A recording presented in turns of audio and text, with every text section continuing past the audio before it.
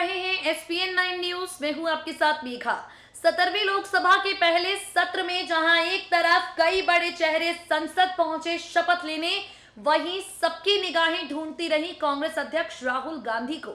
राहुल गांधी सत्रहवीं लोकसभा के पहले सत्र में नहीं पहुँचे। राहुल गांधी ने संसद में अपनी मौजूदगी दर्ज नहीं करवाई। भारतीय जनता पार्टी की ओर से राहुल को आड़े हाथों लिया जाना शुरू हो चुका है और यहाँ कांग्रेसी खेमे में हलचल एक बार फिर मचने लगी है। कहा जा रहा है कि राहुल गांधी इसलिए यहाँ नहीं पहुँचे क्योंकि वो अब तक पार्टी से खफा है। राहुल गांधी अध्यक्ष पद से इस्तीफा देने के फैसले पर अड़े हैं और जब तक पार्टी नया अध्यक्ष नहीं चुनती, जब तक पार्टी राहुल के इस्तीफे वाले फैसले को मंजूर नहीं करती, राहुल इसी तरह से जितने भी ज़्यादा ज़रूरी इस तरीके की मीटिंग्स होगी उनमें अपनी मौजूदगी दर्ज नहीं कराएँगे। अब पार्टी करे तो क्या करे? ज़रूरी हो गया है पार्टी के लिए अध्यक्ष पद पर फैसला लेना। और अध्यक्ष पद पर बड़ा फैसला होता हुआ यहाँ पर आपको दिखाई पड़ने वाला है। दरअसल, अगर शुरुआत से लेकर अब तक राहुल के इस्तीफे को लेकर जो कुछ भी यहाँ पर कंट्रोवर्सी विवाद क्रिएट हुआ है, इस पर आप नज़र डालेंगे तो जान पाएँगे कि ये विवाद राहुल गांधी ने ही खड़ा किया। इसे ज़ोर राहुल गांधी ने ही दिया। तो नया अध्यक्ष आखिर पार्टी में क्यों नहीं अब तक बनकर आ रहा है? नया अध्यक्ष पार्टी में इसलिए बनकर नहीं आ रहा है क्योंकि राहुल गांधी को तलाश है दूसरे मनमोहन सिंह की। ठीक सुन रहे हैं आप? लोगों का कहना है, राजनीतिक विश्लेषकों का कहना है कि राहुल गांधी को दरअसल दूसरे मनमोहन की तलाश है। दूसरे मनमोहन की जिसके ऊपर वो डिक्टेटरशिप का डंडा चलाते रहे।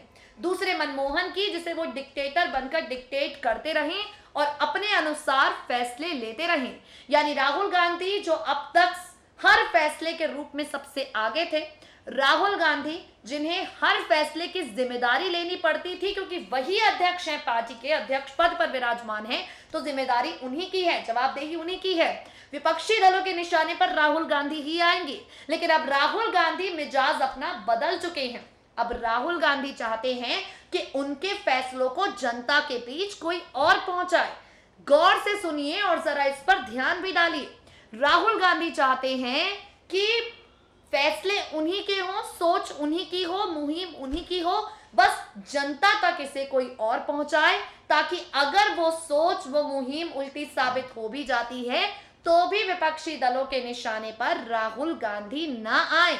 एक नए मनमोहन की तलाश है राहुल गांधी को, नए मनमोहन सिंह की तलाश है राहुल गांधी को, जो खुद चुप्पी भले ही साधे रखे, लेकिन राहुल गांधी के तमाम फैसले यहाँ पर माने और अपने कंधों पर जनता के बीच जाकर उसे पेश करे, ताकि अगर उन फैसलों का नतीजा गलत भी निकलता है तो भी राहुल गांधी पर किसी तरह की कोई आँच ना आए और विपक्षी दल गांधी परिवार को अपना निशाना ना बनाए।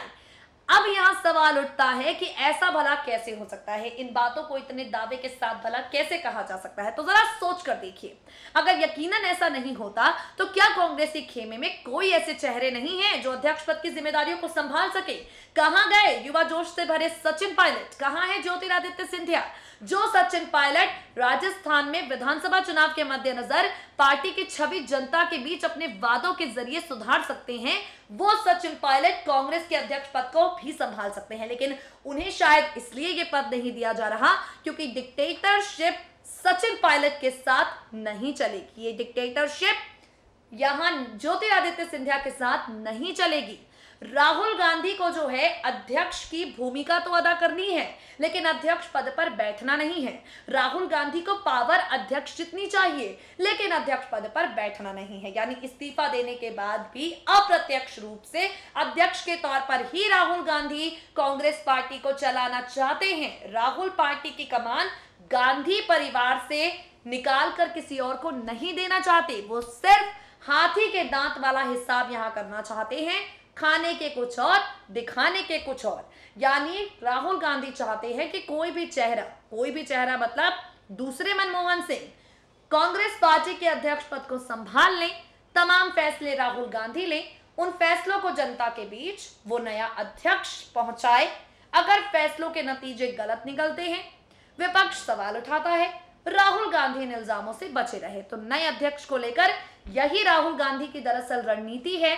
जो कामयाब होती हुई फ़िलहाल दूर दराज तक दिखाई नहीं पड़ रही, क्योंकि अब पार्टी यहाँ पर समझदारी के साथ काम कर रही है। देखना होगा राहुल के इस्तीफे को लेकर और कितनी सियासत यहाँ गर्माती है। फ़िलहाल के लिए इस खास पेशकश में इतना ही।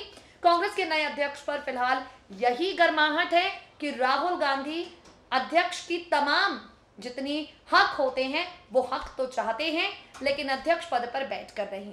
बाकी तमाम अपडेट्स के लिए एसपीएन नाइन न्यूज़ के साथ लगातार जुड़े रहें।